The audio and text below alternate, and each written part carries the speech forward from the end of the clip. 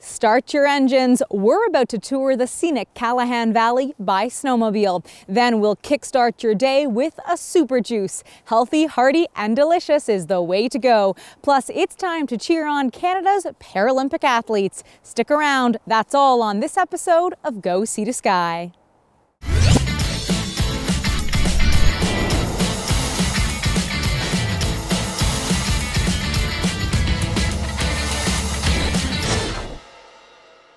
Welcome to Go Sea to Sky. I'm your host, Heather Butts, down by the river at Meadow Park. The mountains have a lot to offer. Whether you're skiing down them or touring up, they act as a natural playground for those who want to enjoy Canada's outdoor oasis. So why not travel through the mountains by snowmobile? You'll cover a lot more ground and faster. And with Canadian Wilderness Adventures, they help even beginners climb to some of the highest peaks. And because you'll work up an appetite, they'll have something waiting for you at your destination. Have a look.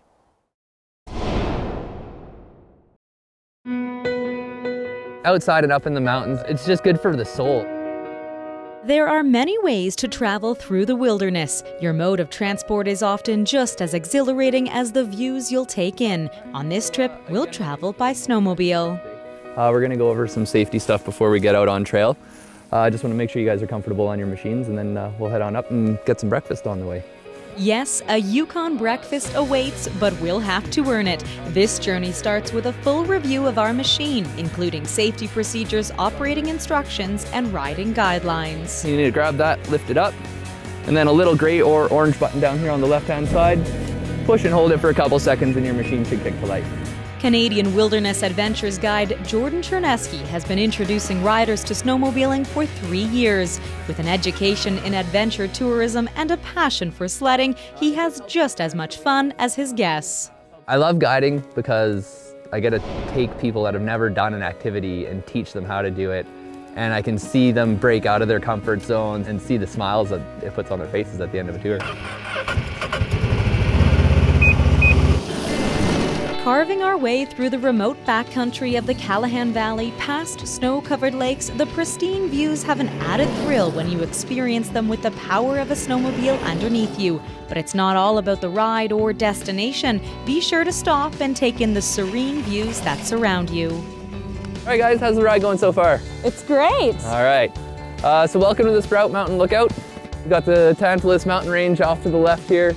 There's Daisy Lake way down in the valley and the Brandywine Mountain up across from us. Leaving the lookout behind us, the landscape begins to change as we continue to wind our way up the rugged mountainside. It gets steeper, tighter, and more technical as we enter the old growth forest. You're progressing into this area where the trees are 500, 600 years old and it's just this massive tree canopy all around you. It's just a, it's, a, it's an amazing feeling. Emerging through the trees, we've climbed to 1,600 meters where a warm breakfast awaits. All right, guys, come on in. It's nice and warm for you. Inside the toasty cabin, we're greeted by other riders, all eager to share tales of the trails during their morning ride. You just got to kind of hang out with all the other people that have come up. You know, if you know them or you don't, you start to know them by the end of it, and you, you develop this camaraderie between everybody. Cooked on an old-fashioned wood stove, the hearty serving of breakfast hash, pancakes, and maple syrup are deliciously satisfying for riders who have worked up an appetite. And it tastes even better when accompanied by pristine views that surround the rustic wood cabin. But once breakfast is over, there's still more riding to be done. We head to a frozen lake where we can really let loose. It just gives you a chance to open up the, the engines on the snowmobile a little bit more and feel out your throttle. The sun shining and the wind at our back, we have confidence instilled by our experienced guide to choose our own adventure. Then we return to the trails for a ride back to reality.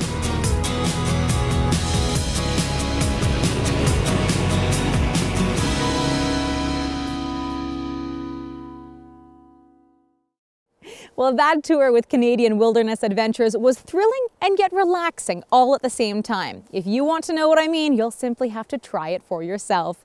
Well, it's time for this week's edition of Go Listen. They're not your traditional rock trio as they all play in multiple bands and live all across Canada, but that doesn't seem to have an impact on the music produced by Beekeeper. Have a listen.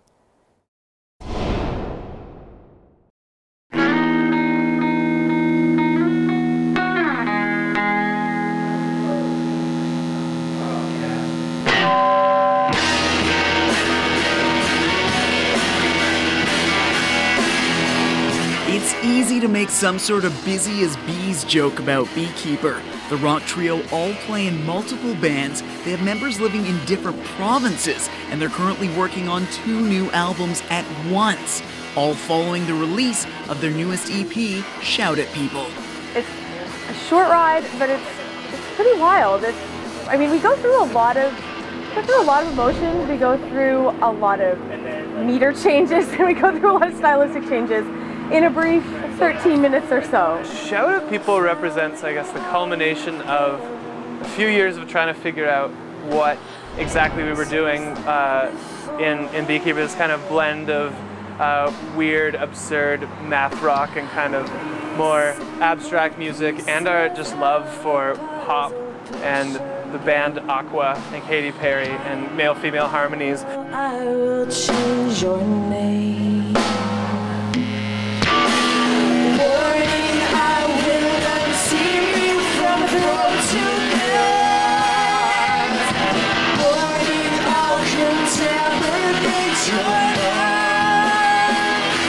I heard that you create puzzles and Luke has to solve them. What kind of puzzles are you throwing at I think I can be sort of an annoyingly puzzling person sometimes. Just uh, I like to write really weird tunes, really weird rhythms, really weird uh, sort of time signatures and stylistic changes.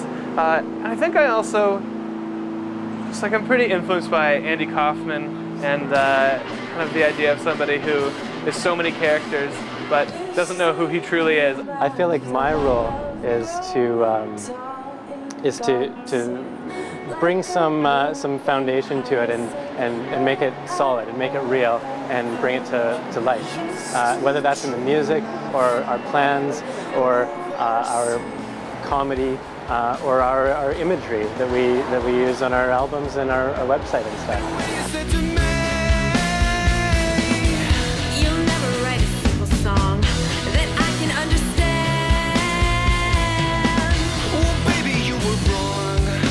You guys talking about different roles and stuff, involved in other music projects on top of Beekeeper. How do they fit together, and do you find it maybe even beneficial to be involved in those different groups?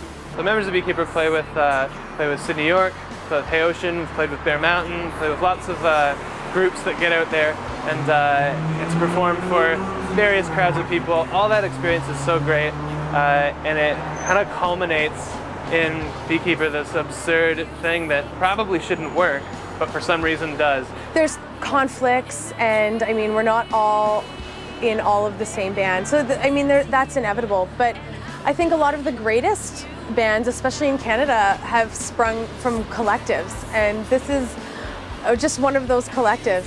Right now, you guys are in the process of recording. What are you recording? What can you reveal? And how soon might we hear that? Uh, we're working on two things right now. The first thing is our next uh, full-length album would be the follow-up to Shout at People. The crazy bits are crazier. The poppy bits are way poppier. Uh, it's really pushing the extremes of, uh, of Shout at People. And uh, we're also recently started working on a kids record that we'll put out after that. Um, I think maybe sometime in the new year, maybe for the next record, and then the kids thing, it's in the future. We really want to make sure it's uh, it's excellent and kid appropriate. Keep up on those new records at bkpr.ca, where you'll also find the band's library of releases and a tour schedule. If you've missed one of our stories with Go Sea to Sky or you'd like to catch a full episode, everything's available online in HD. Just visit youtube.com slash Whistler Shaw. Go Sea to Sky, we're your local voice. Coming up, The point of juicing is that you're getting a mass amount of nutrients and minerals and vitamins in one condensed drink. healthy and hearty, we kickstart your day the right way. The following are proud supporters of community programming on Shaw TV. Hairstyling and color services for Heather Butts are provided by The Loft Salon. TheLoftSalon.com. Hi, folks. Don Taylor here. Need a lift? At Leavitt Machinery, they sell, rent, lease, and service machinery, big and small, for your material handling needs. And they offer certified training. Stack it, reach it, lift it, Leavitt. one in three Canadians know someone with Alzheimer's disease or another dementia. I'm one of those Canadians. September is World Alzheimer's Month, and the Alzheimer's Society of BC wants you to get involved. Use your creative ideas, your outstanding talents, and your sizzling passions. We make it easy to create a unique fundraising event or join in someone else's. Do anything for Alzheimer's and help support people with dementia, their caregivers, and research for a cure. Let's get started at anythingforalzheimers.ca today.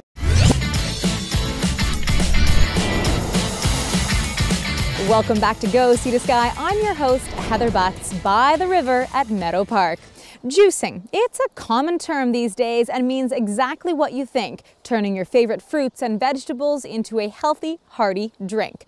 But like all new things, it can be intimidating. What vegetables go well together? Should I add fruit or maybe I should add another supplement? Well, lucky for us, the Sea to Sky corridor is filled with many certified raw food chefs and other health professionals that are ready and willing to help you out with all your juicing needs. This week on our DIY episode, we head to Nita Lake Lodge and get a lesson in juicing.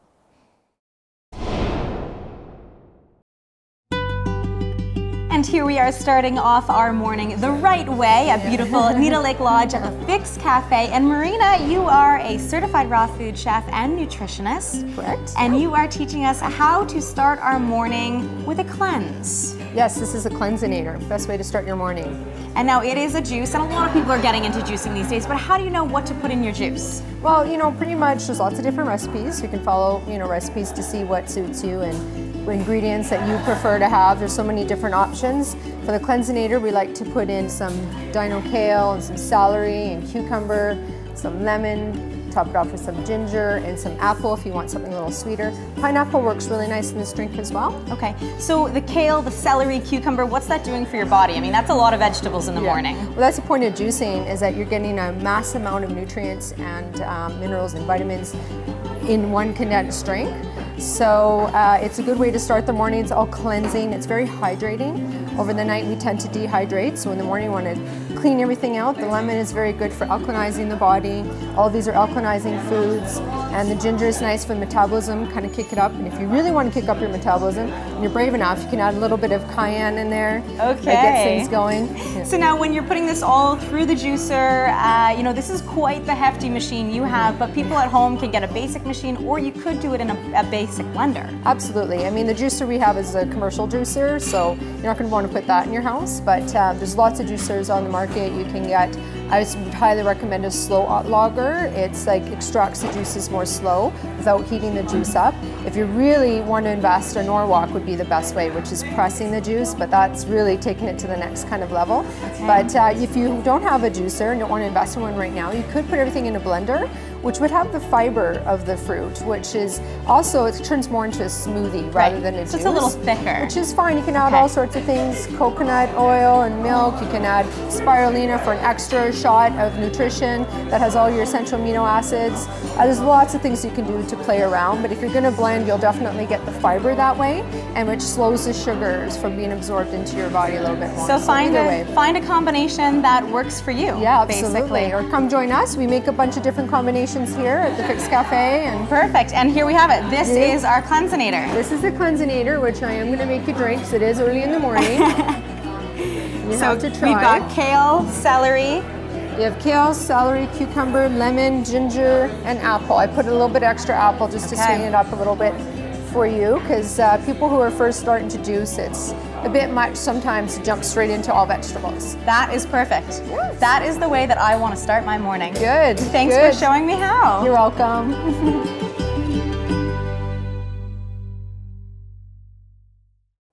It really is that easy. Simply pick the fruits and vegetables that you enjoy and blend them together. Don't be afraid to experiment and try new things. And that's exactly what brings us to our next story. Vanessa Stark is well known around these parts for her artwork that captures the mountains and the wilderness. But she wanted to expand and simply try new things. Now she's taking her art from canvas to clothing. Have a look.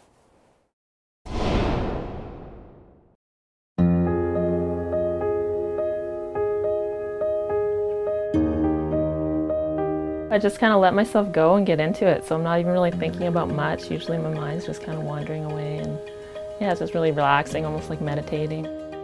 Letting her paintbrush guide her, Vanessa Stark becomes mesmerized by soft, subtle strokes of color drifting across her canvas. I think it's really an intuitive painting style that I do, so it's um, I usually listen to music and relax and just kind of let it flow. Not fitting with a particular genre, Stark coined her work mountain style, inspired by her active life on the West Coast. A local to the Sea to Sky corridor, her work can be found in several local venues. I think my art is really like mountain style fun. It's um, been really influenced by my lifestyle, which is like snowboarding, mountain biking, and living the good life in the mountains. So I think it reflects that. Her passion for the outdoors, balanced with her artistic talent, has led Stark down a variety of avenues, from commissioned work for homes to top sheets for Prior snowboards. Always pushing the boundaries, Stark has now grown from canvas to clothing. A couple years ago, I started doing the baby shirts, and those went really well. And then I wanted to expand into adult shirts. And yeah, so I put my Wild and Free series on the shirt. So I have three different designs right now. The Wild and Free series is a combination of an original drawing merged with a typographic map. It's then screen printed on the shirts at a shop in Pemberton. I have an animal and a map together because there's a connection between the land and the animal and the spirits of that area. So I think it gives more of a story to the piece that you're looking at when you see the map and the animal together. An affordable and practical piece of art, Stark sees it as a way to make her work accessible to all and hopes the unique medium will continue to flourish. You see people you don't know wearing your shirt that you designed, and it definitely makes you feel a little smile come on. From large canvas pieces to small prints, she's been selling her work for 10 years but turned her passion into a full time career just three years ago. She attributes her success to her mountain community, both for inspiration and support. Her art is warm and inviting. Every piece tells a different story, but Stark's whimsical movement and vibrant tones leave it to the observer to say how it ends.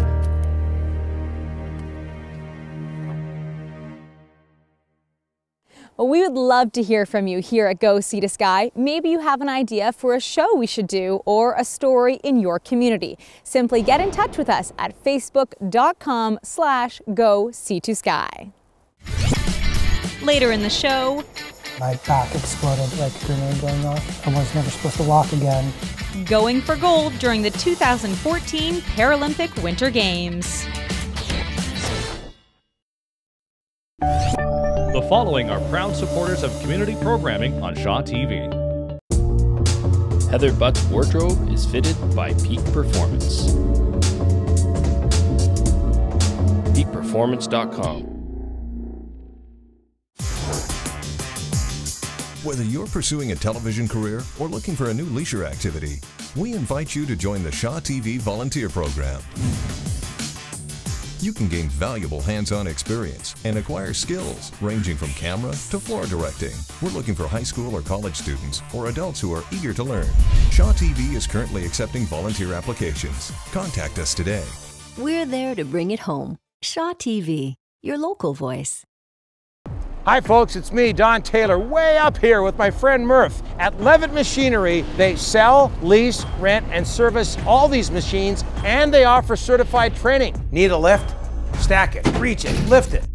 Leavitt. Retirement Concepts Weather Report on Shaw TV takes you from around the world to across the country to your own backyard. Retirement Concepts Weather Report on Shaw TV gives you the inside information on the outside world daily on Shaw TV.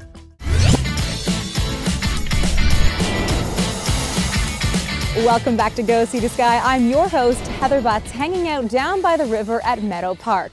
The Sea to Sky corridor has endless things to see and do, but if you need a break from the wilderness or find yourself in Vancouver, why not check out the Vancouver Museum and an exhibit called Playhouse, the architecture of Daniel Evans White. He knew exactly how to play with houses. The Vancouver architect drove innovation on the West Coast from the 1960s to 2012, and our Hannah Ward toured the exhibit and tells us what it's all about.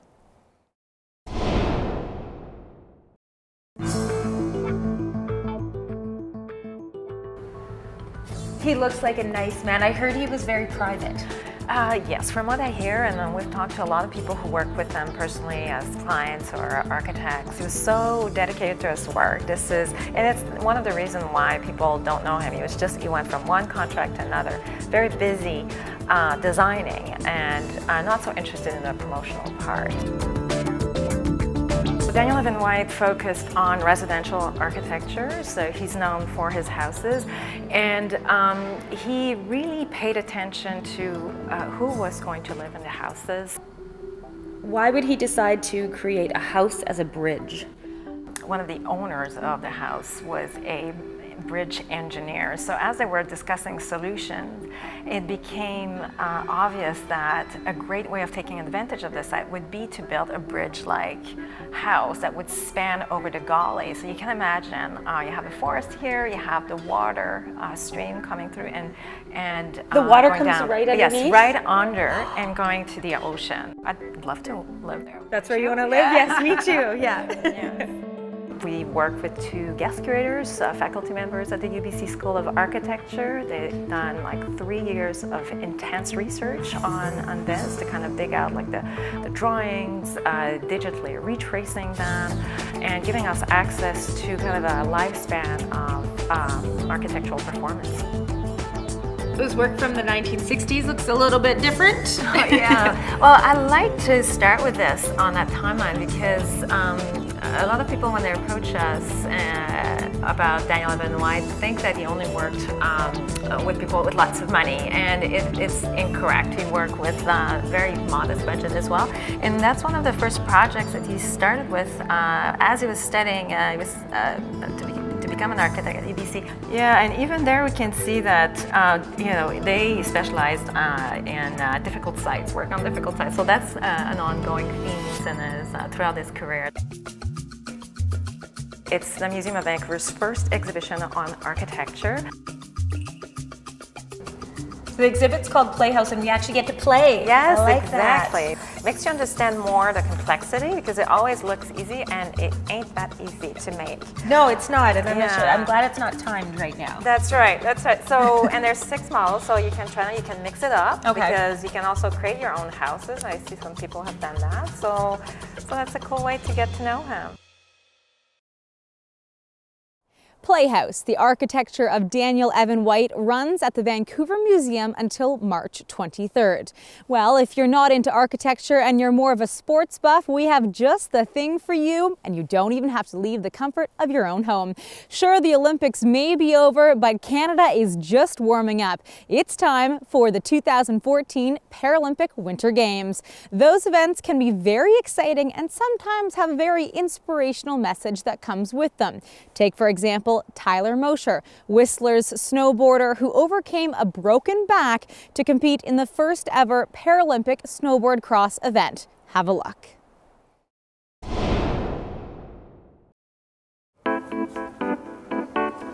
Standing to wax his snowboard, Tyler Mosher has overcome the unimaginable. I was never supposed to walk again. On December 30th, 2000, Mosher broke his back while snowboarding after falling 10 meters and landing on the top of his head. My back exploded. Uh, one vertebrae totally exploded like a grenade going off in your body. It ended up being an incomplete injury, and uh, you know I got back the muscles that enabled me to walk. Although I'm still medically 40% paralyzed below the waist.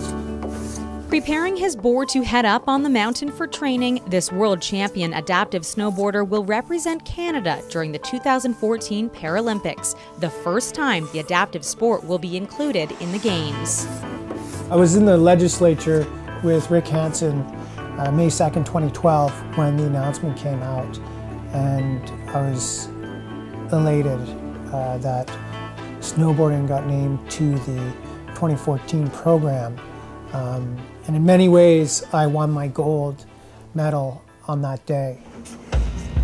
Stacking his bones as though he's walking on stilts, Mosher heads down the 100 steps from his house. Just getting to the mountain is a feat in itself, but one that he's proud to say he's able to do. It's a tough go because realistically, everyone's telling you that you're going to need to be in a wheelchair. And um, it's it's upsetting. But you don't you don't dwell on what you don't have. You get through by looking at what you do have. This won't be his first Paralympic Games. Mosher's cross country rehabilitation led him to compete for Canada on home turf in 2010.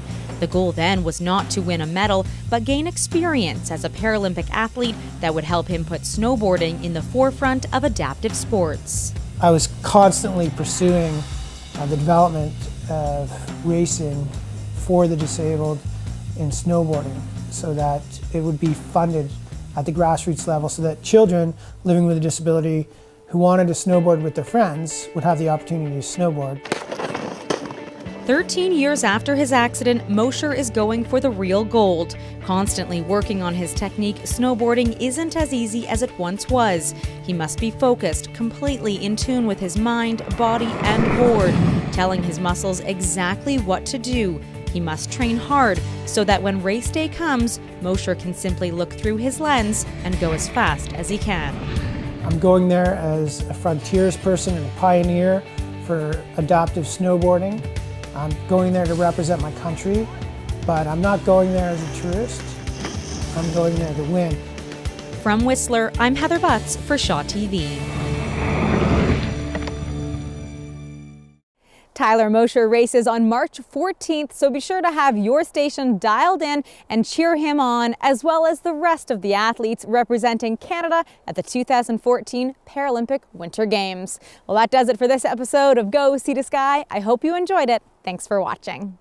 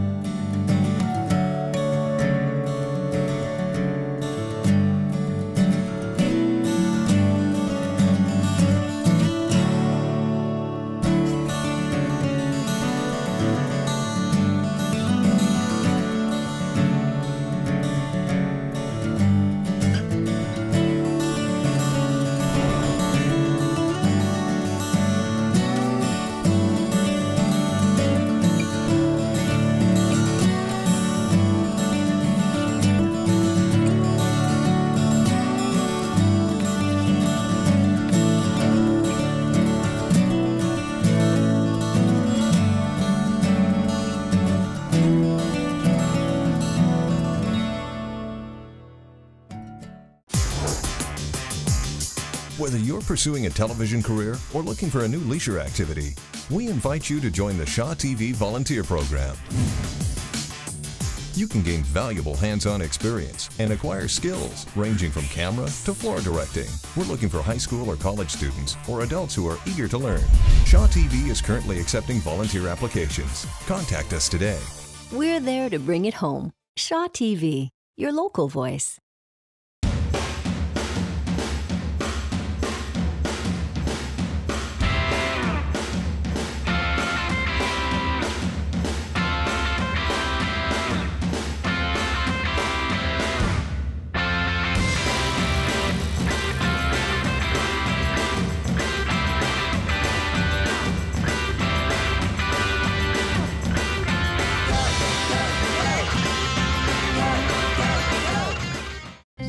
Book, go with Modo, Vancouver's only local car sharing co op. What's car sharing? It's thousands of people sharing the cost and access to hundreds of cars. Car sharing offers a reliable alternative to car ownership, fits your lifestyle, and saves you money. With 300 cars, trucks, and even cargo vans, Modo offers the lowest rates in Metro Vancouver. And booking a Modo is easy, online or by phone. Join, book, go. Learn more at modo.coop.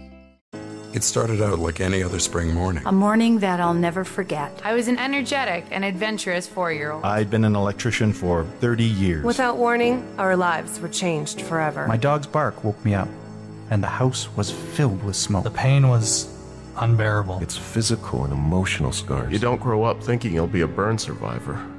It just happens. But there is hope. We support burn survivors on their long journey to recovery. Give today